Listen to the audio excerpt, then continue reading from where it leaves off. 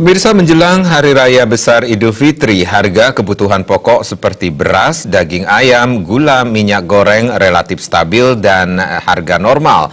Hanya harga cabai kecil dan telur mengalami sedikit peningkatan karena tingginya permintaan.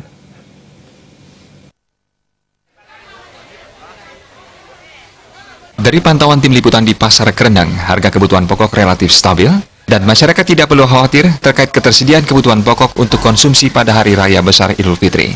Sementara Kadis Perindak Provinsi Bali Putu Astawa mengapresiasi ketersediaan kebutuhan pokok ini sehingga tidak terjadi kenaikan harga serta tidak menimbulkan inflasi dan pasokan distribusi kebutuhan pokok sampai di Bali juga lancar.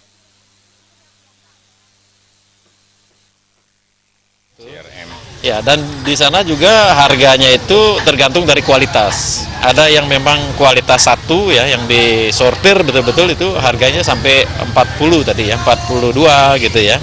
Kemudian ada yang sampai harga 37. Nah, itu tergantung dari kualitasnya ya. Nah, ini e, memang berkaitan dengan permintaan yang melonjak gitu ya, ketersediaannya ini yang e, tetap sehingga cenderung menjadi uh, naik lah.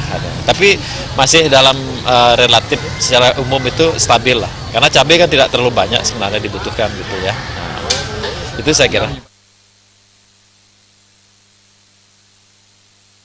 Beras premium mencapai Rp12.000 per kilogram. Beras putri Rp11.000 per kilogram dan beras tabanan Rp10.000 per kilogram. Harga cabai kecil mencapai Rp45.000 per kilogram dari sebelumnya Rp30.000 per kilogram. Karena tingginya permintaan sehingga harga meningkat.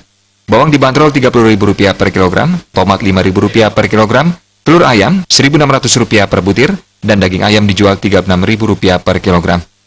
Agus Sudiatmika, Bali.